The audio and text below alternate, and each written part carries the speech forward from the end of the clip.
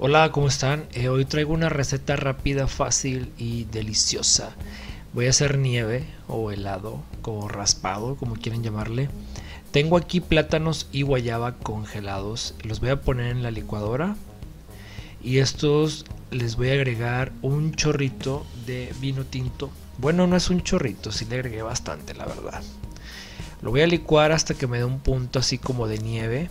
Y después le voy a agregar fresas esto lo hago para que no este, forzar el motor de la licuadora porque luego me truena.